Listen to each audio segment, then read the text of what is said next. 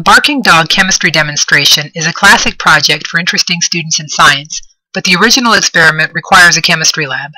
This alternative emits a bright light and a barking or woofing sound, just like the original, except it uses easy to find and safe household materials, plus you can customize the color of the flame.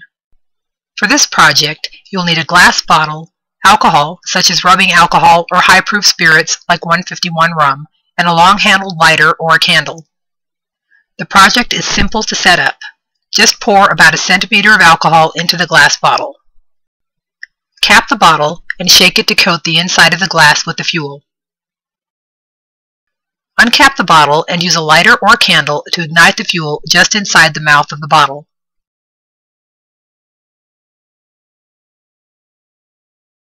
Here's how the project looks in the dark. Alcohol produces a bright blue flame. The sound of the bark will depend on the dimensions of the bottle. You can change the color of the flame. For example, borax or boric acid will produce a green flame.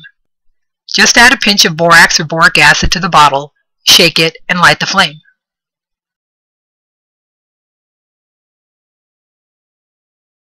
The oxygen inside the bottle is exhausted each time you perform the project, so you'll need to blow air into the bottle to repeat the effect. This version of the barking dog is infinitely safer and less expensive than the original project, plus it's easy and safe enough to do as a home chemistry demonstration.